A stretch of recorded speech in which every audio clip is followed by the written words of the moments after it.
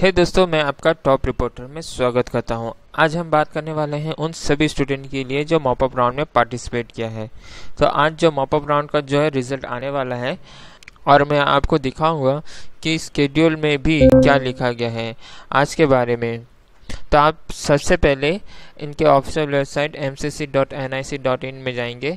तो यहाँ पर आप देख सकते हैं कि काउंसलिंग शेड्यूल दिया गया है। जैसे यहाँ पे यहाँ पर क्लिक करते हैं तो यहाँ पर आपका mop up round round two का रिज़ल्ट जो है आपका दिखाई देगा।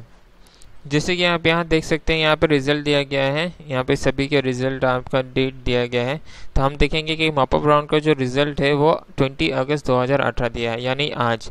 यानी आज मॉपअप राउंड का जो है रिज़ल्ट आ जाएगा और आप सभी को पता चल जाएगा कि आपको कौन कौन सा कॉलेज अलॉटमेंट हुआ है और क्या आपको अलॉटमेंट हुआ है कि नहीं। मतलब आज आपको सब कुछ क्लियर हो जाएगा। ऐसे ही और भी जानकारी के लिए MCC की वेबसाइट में जाकर चेक करते रहिए कि कौन कौन से अपडेट आए हैं। यदि आगे कोई भी अपडेट या इन्फॉर्मेशन आता है तो मैं आपके साथ ज़रूर शेयर करूँगा। तो आपको ये वीडियो कैसे लगा हमें नीचे कमेंट कर बता दीजिए। साथ ही ऐसे ही और वीडियोस के लिए हमारे चैनल को सब्सक्राइब करिए।